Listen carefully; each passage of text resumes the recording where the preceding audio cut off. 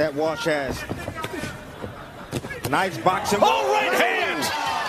Knockdown scored by Nico Ali Walsh here in round number one. In from Nico. Weeks is so defensively flawed. And this fight is over a TK.